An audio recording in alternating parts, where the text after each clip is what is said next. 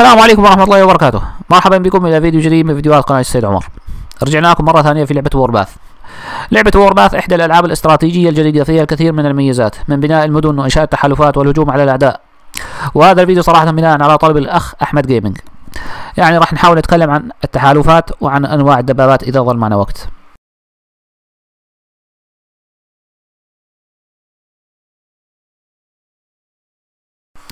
طيب بالنسبة للتحالفات التحالفات مثل ما بقول الموقع تبع اللعبة هي مجموعة تتكون من لاعبين يتشاركون هدف مشترك ويسعون إلى التقدم معا. يساعد كل عضو في التحالف على إحراز تقدم وفي المقابل يتم مساعدته أثناء تقدمه في اللعبة. كلما كان التحالف أقوى سيتم منح مكافآت أفضل لأعضائه.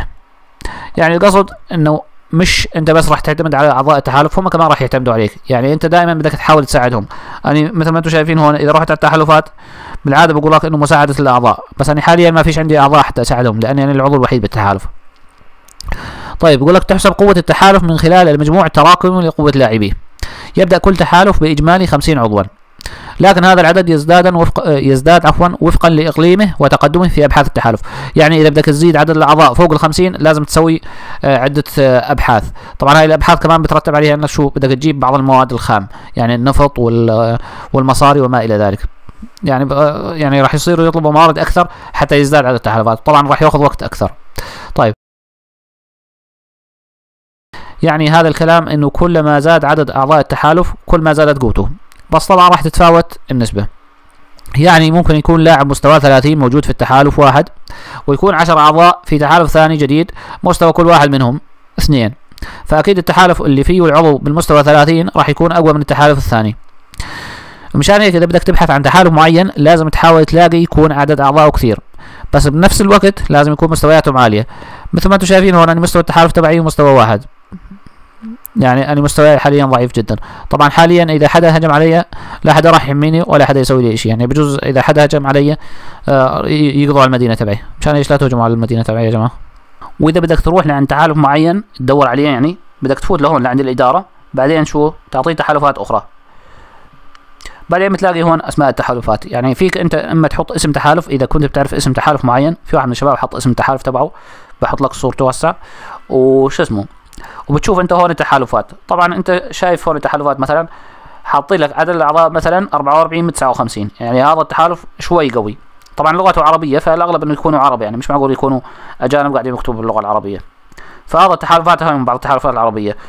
بس شو مشكلته؟ إنه 44 من 59 بس شو بعده المستوى الأول؟ فأنت بدك تضلك تنزل حتى تلاقي إنه تحالف يكون أقوى شوي. هذا مثلا 47 من 67 فالمفروض يكون أقوى من التحالف اللي اللي قبليه.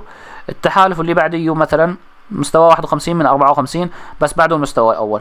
لحد الآن يعني صراحة أنا ماني شايف مانيش شايف ولا تحالف أكثر من المستوى الأول. بس كأنه يمكن عشان إنه أنا مستواي باللعبة مش قوي كثير مطلعين المستوى الأول. بجوز يعني إذا كان مستواك قوي يمكن تلاقي مستويات أكثر من هيك. طبعا هذا التحالف أنا عملته جديد مشان أورجيكم شلون آه نعمل تحالف. وحتى أنضم إلى تحالف ثاني صراحة هسه لازم أغادر التحالف أو أحذفه. طيب خلينا نطلع على بعض المعلومات عن التحالف الموجودة كمان بالصفحة الخاصة باللعبة. والله في مكافآت تحالف.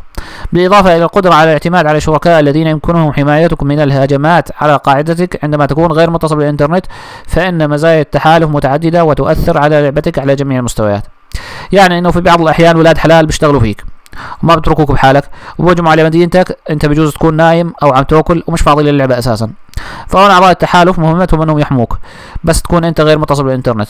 بس طبعا أنت بنفس الوقت لازم تسوي نفس الحركة. يعني إذا حدا من الأعداء هجم على على أعضاء التحالف اللي عندك لازم تساعدهم وتحميهم مشان هم يردوا لك إياها بالمستقبل. طيب هاي نقطة. النقطة الثانية بقول لك هدايا التحالف. عندما يشتري أحد أعضاء التحالف حزمة هدايا أو إذا دمر مخبأ رافن طبعا إذا بدك تشتري حزمة هدايا لازم تشتري بمصاري يعني قصدهم مش آه شراء عادي. أو إذا دمر مخبأ رافن يمكن لهذا العضو فتح أو المطالبة بالمكافأة والتي بدورها تكافئ جميع أعضاء التحالف. كما يتلقى التحالف تبرعات الهدايا. يعني كل ما زملائك هجموا على مخابئ رافن بشكل أكثر كل ما كبرت الهدايا اللي راح تحصلها. طبعا إذا في حدا حواليكم حدا زنقيل يعني ويقعد يشتري بعض الشغلات الموجودة باللعبة راح تحصل كمان على مكافآت. طيب النقطة التالية مستوى الغنائم. مستوى الغنائم عندما تصل مساهمات الهدية إلى الحد الأقصى يمكن لأعضاء التحالف فتح الغنائم للحصول على مكافآت بناء على مستوى الغنائم. كلما ارتفع مستوى الغنائم في التحالف كلما زادت درجات المكافآت. طبعا أنت منين بتحصل الغنائم؟ إما بالهجوم على مخابئ رافن. طبعا هسه إذا بدي أهجم على مخابئ رافن شلون؟ بس بدك تصغر الخريطة مثلا وتدور على مخابئ رافن هون. مخابئ رافن تكون هي هيك شكلها. يعني المفروض إنه هاي مخبأ رافن هذا. هذا قبو رافن من مستوى واحد.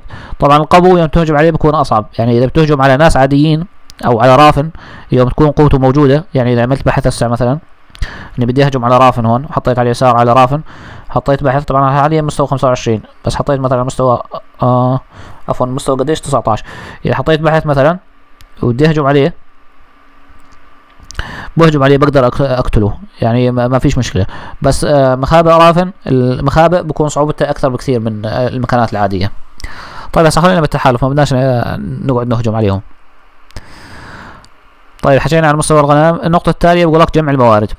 عند البحث عن شاحنات التجميع وارسالها إلى المناجم الموجودة في منطقة تحالفك سيتم تقليل وقت التجميع بمقدار 25% يعني على سبيل المثال إذا بتحتاج أربع ساعات حتى تتعبى الشاحنة في المناطق البعيدة عنك راح تحتاج بمنطقة التحالف تبعك إلى ثلاث ساعات. يعني راح يخفض آه، ينخفض بمقدار الربع طيب النقطة التالية يمكن لبعض ال Alliance Research أو يعني بحوث التحالف أن تقلل من وقت التجميع الخاص بك إذا تم إلغاء قفلها في شجرة تقنيات Alliance Development. طبعا حاليا ما فيش عندي تطور بالتحالف لأنه مثل ما قلت لكم أنا العضو الوحيد حاليا بالتحالف يعني إذا رحت على البحث حاليا ما فيش عندي أي أي بحث من البحوث منجزة لحد الآن. حاطيني مساهمة اليوم صفر التحديث في ثمان ساعات. طيب هاي الجيش كمان كله شايفين كلها اصفار لحد الآن مانيش مسوي ولا بحث. المشكلة حاليا إذا سويت بحوث وطلعت من التحالف راح يروح البحوث تظل على الفاضي يعني. طيب. طيب مكافأة البحث. طبعا يعني إذا عملت بحوث هون حاليا بقول لك إنه راح يعطوك مكافآت. بس يعني صراحة المكافآت ما بشوفهاش تتوافق يعني مع المتطلبات اللي بيطلبوها. يعني على سبيل المثال يجي أسوي هنا آه شو اسمه؟ جيت أسوي هذا البحث مثلا بدي اعطي مساهمة. آه يعني القصد إني راح أستهلك موارد كثيرة بالمقابل ما أعطونيش يعني آه مكافآت. تتناسب مع هاي الموارد اللي قاعد بستخدمها. طيب. هون بقول لك ستمنحك الشجرة الأولى المتعلقة بالتنمية. وين التنمية؟ آه هاي التطوير يعني قصدهم يمكن. التنمية مكافآت على المجموعات أو الإنتاج أو البحث أو التوظيف. ستساعدك الشجرة الثانية في تطوير التحالف من خلال السماح له بزيادة عدد أعضائه. يعني التحالفات هون إذا رحت هون إذا زودت إذا عملت هاي البحوث راح يسمحوا لك بزيادة عدد الأعضاء. أو مناطقه أو حدود التخزين في أو أوقات البناء. وستعمل شجرة التكنولوجيا النهائية أو الجيش هون يمكن. طيب. آه التكنولوجيا النهائية على تعزيز القوات العسكرية لأعضاء التحالف من خلال منح مكافآت قتالية معينة للوحدات المختلفة. طبعا حاليا عندي بعض البحوث مش مفعلة لأنه التحالف معمول جديد. والشغلة الوحيدة بستفيد منها يوم تعمل تحالف إنك بتكون القائد. بس إذا ما حدا انضم لتحالفك هذا وهجموا عليك رافن وجماعته أو غيره بكسروا بكسروا رأسك تكسير. طيب في شغلة كمان آه، ثانية في متجر التحالف. هون بقول لك في متجر للتحالف. بس وين المتجر هون؟ بس خليني أروح أدور عليه. هاي الأعضاء هاي الإدارة ما فيش. طيب هون. لازم البحث. آه هذا متجر تحالف عفوا. قدامي ما شايفه. طيب بس بقولوا باللعبة يعني تلقى متجر تحالف اصلاحا شاملا في وور باث واحد فاصلة صفر ثمانية. ما بعرف صراحة أنا شو رقم الإصدار تبع اللعبة عندي حاليا. بس بقولوا إنه حاليا بيصلحوها طيب لم يعد بإمكان قاده التحالف شراء العناصر لتخزين مخزن التحالف. الآن تمتلك جميع المتاجر نفس المخزون ولكن الوصول إلى هذا المخزون يعتمد على الأبحاث التي حققها التحالف. يوجد حاليا أربع طبقات من المخزون يمكن الوصول إليها من المتجر. طيب عملات المساهمة أو نقاط التحالف هي العملة المستخدمة في هذا المتجر ويمكن الحصول عليها من خلال تعزيز البحث للبحث المحدد حاليا لتحالف الفرد. يمكن أيضا ضرب نقاط التحالف بشكل عشوائي من ضرب اثنين إلى ضرب عشرة للحصول على نقاط إضافية. يعني صراحة أنا شايف حاليا إذا بدي أشتري هنا يعني فيني أشتري يمكن؟ آه شنو؟ صراحة أي عملات المساهمة حاليا معي ألفين وثمانمية وستة وتسعين. يعني فيني أشتري اندفاع أو تسريع لمدة ثمان ساعات أو التقاط موارد مميزة بثمانين. هاي التقاط موارد مميزة رخيصة بشتريها.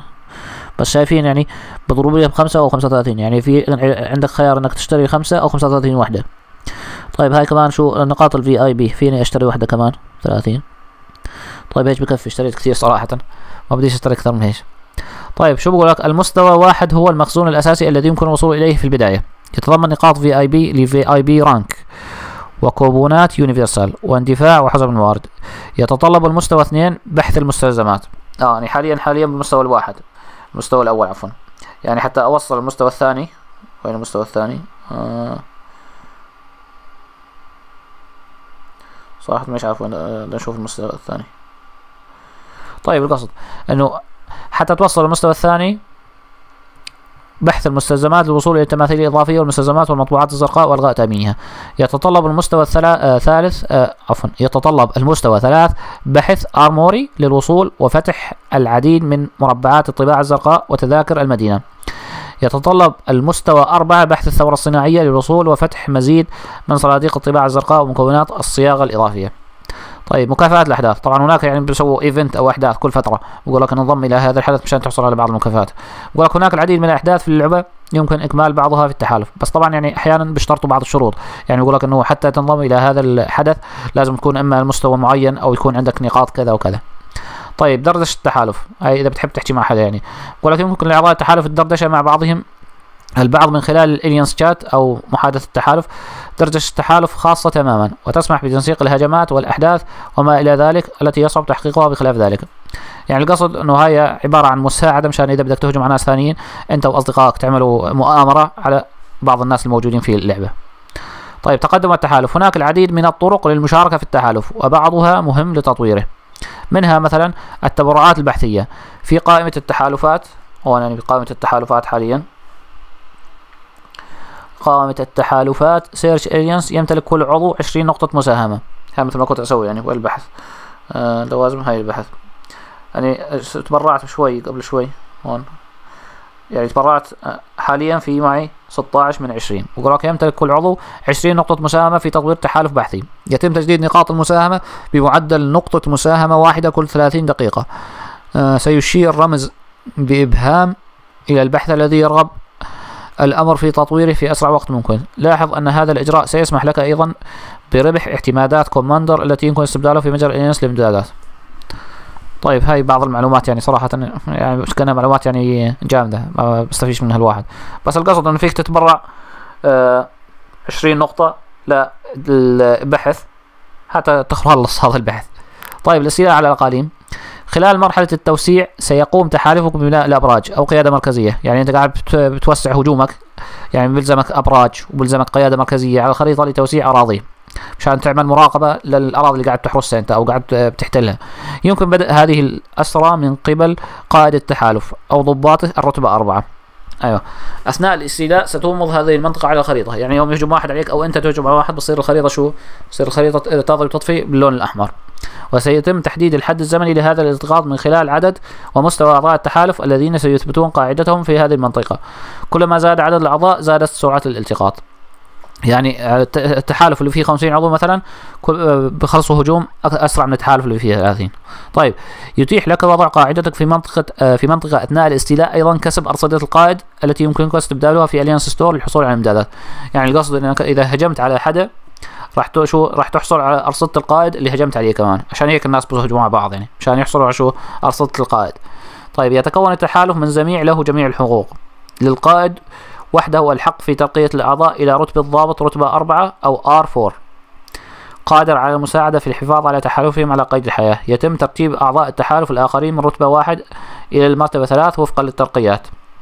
التخفيضات التي قام بها القائد وضباطه. طيب شو ظل ملاحظات. ضباط التحالف وزعيم التحالف قادرين على رؤية الوقت المنقضي منذ آخر اتصال. وهذا هو أحد المعايير الأولى عندما يتعلق الأمر بإفساح المجال للوافدين الجدد في التحالف. فقط رئيس التحالف والضباط قادرون على بناء الأبراج ومراكز القيادة. يعني أنا حاليا هسه كرئيس للتحالف تبعي فيني أبني أبراج ومراكز قيادة. بس شو المشكلة؟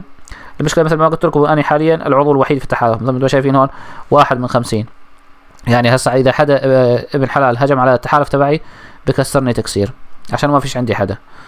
طيب هذا كان فيديو اليوم. صراحة طولت شوي يعني كنت ناوي أحكي عن الدبابات بناء على طلب الأخ أحمد جيمنج بس المشكلة إنه إنه طالب فيديو كثير وحاجات كثير. راح أوقف هون ونرجع إن شاء الله بنعمل فيديو ثاني عن الدبابات. إذا عجبكم الفيديو لا تنسوا الإعجاب والاشتراك في القناة. شكرا متابعة السلام عليكم ورحمة الله وبركاته.